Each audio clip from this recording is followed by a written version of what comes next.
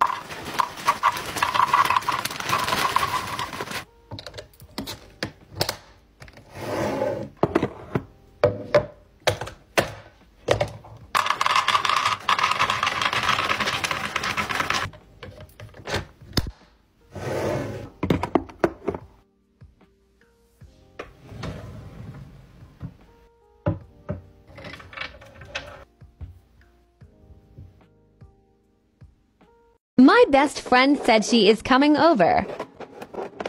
Of course, I have to restock the snack drawer underneath my bed with her favorite snacks.